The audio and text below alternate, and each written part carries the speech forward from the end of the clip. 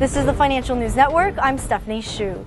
Eli Lilly and Company announced today that its experimental imaging drug florbetapir was deemed by the U.S. Food and Drug Administration to be not yet ready for approval.